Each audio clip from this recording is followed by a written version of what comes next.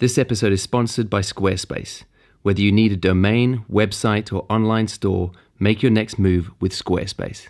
One of the most misleading things about social media in general and Instagram in particular is that it teaches us to spend more time focusing on the single image, to rate single images, to view only single images without the context of someone's work, and even if we're honest, to shoot for the single image even for ourselves so we can post it. But I don't think that's the best way to view another photographer's work. And I think if we think in single images to impress the crowd on social media the whole time, it can also give us false priorities that can take us off track as photographers ourselves. Let me show you what I mean. So I'm going to show you a series of images and I want you to be honest with yourself. If these images came down your feed on an app like Instagram, what would your response be to them? Would you like them?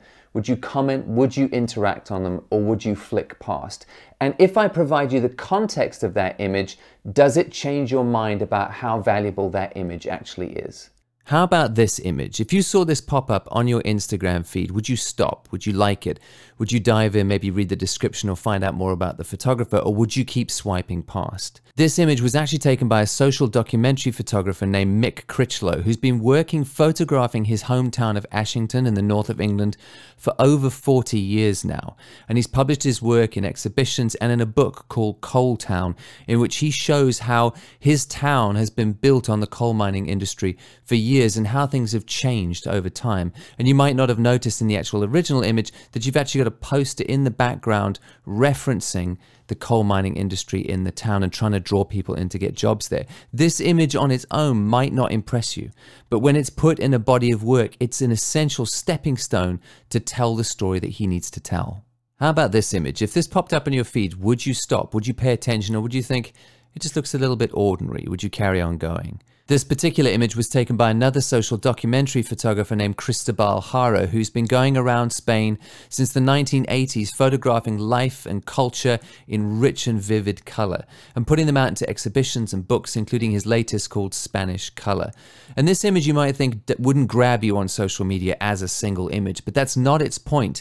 The point is to work as part of a sequence to show you the setting, the streets, where then he can move you through to the latter parts of the book and start to show you what happens on those streets, who the people are who live there, what they care about, what their religious ceremonies look like, what their sporting events look like.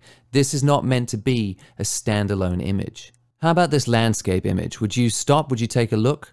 Would you judge it? Would you say, well, it looks a little HDR or there's slight haloing on the horizon? Would you just keep scanning past? Might you even stop and leave a mean comment because you don't really like that sort of landscape and you think it's dark or dingy? Well, this particular image was taken by one of my favorite photographers, Don McCullin. And when you know a little bit about him and where he's been and what he's seen in the world and how he's covered conflict in some of the most difficult situations and harrowing circumstances around the planet, and when you listen to interviews where he talks about how his darkroom now feels like a haunted place and how he goes out around the countryside at Somerset where he lives to take photographs of the landscapes just to exercise some of those demons, you can feel that grit and that contrast and that darkness color his work. And for me, the fact that he rolls that all in together actually makes his work richer. Would this be an image you just scroll past and dismiss? How about this image? Would this be something you'd stop at? Would you look? Would you like it? Would you comment on it? Is this something that you think, well, there is something interesting about it and you take some time with it? If not, well, in this case, you might be right because it's just a random photograph I took earlier in the year by the banks of the river in York. But I hope that's got you thinking about what could be the context of an image if it was placed into a body of work, and maybe I shouldn't judge things so quickly. How about this image? Would this make you stop? Would this be interesting to you enough to actually slow down and engage with it, or would you scroll past? This particular image was taken by another one of my favorite photographers, Joel Meyerowitz, who's probably best known for his kind of frantic street tableaus of New York City and Fifth Avenue. But this is a completely different series, and probably some of my favorite images of his that come from a, a selection of work by him called Cape Light. And he took time um, to just photograph the beautiful light and spaces in Cape Cod where he used to go. And this was taken at a time where color photography was kind of looked down on. Most photographers who thought of themselves as serious photographers shot in black and white. That was what was seen as the correct medium. But he decided to push into color and was one of those pioneers. And these beautifully soft images of light and space and especially color moved things forward for us as photographers. And this image that might not grab you when you understand the context and you see it in the body of work, I think this image really sings. How about this shot of a set of hands resting on a train window? Would this grab your attention? Would it be enough to slow you down to take a closer look? Now, this image is actually taken by one of my favorite cinematographers in the world, Roger Deakins, and he's just brought out a book of stills photography for the first time. And this is the image that he chooses for the front cover of his book, Byways. Inside the book, you see images of rural life in North Devon because for a year before he became a cinematographer, before he went to film school, he actually traveled around North Devon taking photographs of the life of farmers and rural communities. So those images make up the first part of the book, and then we move through to his travels around the world and film sets that he's been on. But what I find fascinating is that these images reveal the eye that makes him a great cinematographer. And this particular image he thought worthy of that front cover. But would we stop and take notice of it as it's flying past on social media? I hope that's got you thinking a little deeper about how we interact with each other's work online and how if we only focus on the single image, which is what we're encouraged to do on social media apps, that we might miss an image's value because we don't understand its context. Now, I'm not about to denigrate social media or say that I think Instagram is evil. I honestly think that kind of black and white thinking is a little lazy because, on the one side, historically speaking, we live at a time where we can make images and share them in the world that are completely historically unprecedented. And on that end of it, social media can be a gift. But it's a double edged sword. It doesn't ask us to look very deep. It rewards single images and quick flicking through and just a quick like and not actually engaging with the work. And I think in that regard, it teaches us bad habits. I've said it before on this channel, if the internet is a million miles wide, sometimes it can only be a centimeter deep. So if we're people who are trying to become serious photographers and we're not just letting social media lead us round by the nose and tell us how to interact with other people's work, how can we get more deliberate about viewing the work of other photographers and making sure that we dig a little deeper? And how can we make sure that we're setting our own expectations correctly and that when we're shooting images and sharing images, how can we set our sights a little higher than just trying to get attention on that single image. First, I would suggest that when it comes to viewing the work of other photographers and you're flicking through on an app like Instagram and an image grabs your attention, make the effort to go through and view their profile because that will give you context. It will help you understand what they're trying to say overall with their images and it will give you an idea about how their images are evolving over time and what they're learning in the process. And I guarantee you, you'll understand that single image you viewed and liked better and you'll also learn a lot about how they're developing as a photographer and what they really think is important to say with their work. And that's not only a nice, respectful thing to do for that photographer's sake, that person whose work I'm viewing, to spend a bit more time, dig, and get a bit more context to understand them better. It's selfishly good for me as well, because if I view their feed, I'll understand more about their journey and how they're developing and what they're learning, and how they're different from yesterday's photographer who I saw, who's developing in a different direction. And they'll both give me ideas about how I can develop as a photographer myself on my own journey. And I'll certainly learn more than if I just live on that main feed, taking in single serving, bite sized photography. And by the way, if your goal is to hack social media and try work out how to get more likes on those single images, this is terrible advice and you should absolutely ignore me. This is only for those photographers who are serious about growing and who want to go and see what other people are doing because I promise you the more you dig in to what photographers are doing in their overall work, taking a step back and looking at the whole picture instead of that single image, the more you'll learn and grow yourself. Secondly, for us as photographers, it's important for us to evolve in our priorities and to stop chasing the likes on the single Instagram bangers. We have to learn to produce sets, to tell stories with series of images over time. And people won't get it. They won't understand. They'll still try and just rate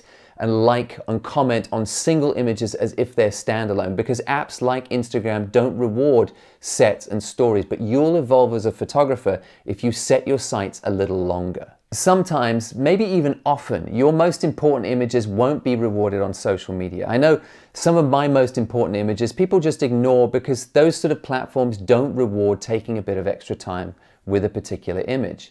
And I learned this from my friend Joshua Jackson. As I watched him sequence his last book, Sleepless in Soho, he was saying to me that he knew some people on Instagram would be disappointed because some of his Instagram hero images wouldn't make it into the book. because they would actually distract from the stories that he was trying to tell. But some of the most important images in that book, those that tied things together and helped it to flow overall, he would never even bother to post to Instagram because people just wouldn't get it. He knew that some people who followed him on Instagram might have been disappointed when they picked the book up and didn't see their favorite Instagram bangers of his in that book. But he was ruthless about it. It was story and flow first. The sequencing was all important. And so those bangers came out. So they didn't distract from that overall flow. And more interesting images went in that helped the evolving story that he was trying to tell throughout his book. And for me, that's the difference between a mature and evolving artist who's trying to create a body of work and somebody who's just trying to hack the Instagram algorithm with single images to get short term attention. I actually made a video with Joshua about how he put that book together, how he sequenced it, and how he went about trying to find a publisher, which I'll link down below if you're interested. So even though apps like Instagram reward and teach us to view things by bite-sized images, I don't think it's the best way to view anybody's work, for their sake or for ours in terms of how we're going to learn. If we're serious about this, I think we need to make more effort to dive in when we find something interesting. Try and suck up some more context so we can understand what that person's trying to do because we'll learn a lot more. And to zoom out, to take in more of the picture that they're creating with their work. If we make the effort and start to put this stuff into practice, not only are we going to learn a lot more about particular photographers and what they're really trying to say, but I think we'll learn more about the medium of photography and its possibilities in storytelling and communication when we play the longer term game instead of just trying to get shorter term attention. And I think when we start to interact with photography like that, it's a sign that we're moving beyond being a beginner and taking it more seriously. And the same goes for us, those of us who are also shooting images and trying to share them with the world. We have to set our sights on the longer term and stop getting so wrapped up with how many comments an image gets, what people say about a single image, or how many likes it gets. That stuff is irrelevant in the long term. We should be setting our sights on the distant horizon and working out how we're progressing day by day and what story we're actually telling with our images over a period of time.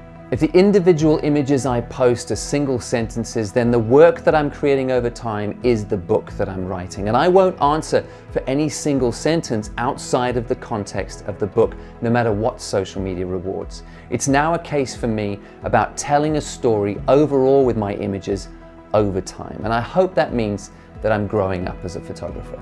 Thanks again to Squarespace for sponsoring this episode. If you need a new website or a domain, they're a fantastic option. I've used them myself as my website of choice for almost a decade now. One of the great things about Squarespace are their e-commerce functionality. And I sell a book of photography every year and I sell prints and that helps me keep going as an artist. So if you're somebody who wants to produce products and sell them to an audience to help you keep going as someone who makes things, it's super easy to do. You can set up your products in minutes, set your pricing, see the orders coming in, track orders going out and send people information, and it couldn't be simpler to use. Speaking of which, when I announced the Meaning in the Making was coming out, a lot of you asked in the comments section for an audiobook. And I will break the surprise here. I have been working on it for about a month and it's now ready to go. Hopefully by next week, it will be live on my website. If you want to go take a look, you'll be able to purchase and download that audiobook directly from there. Start your free trial today at squarespace.com and go to squarespace.com forward slash Sean Tucker to get 10% off your first purchase.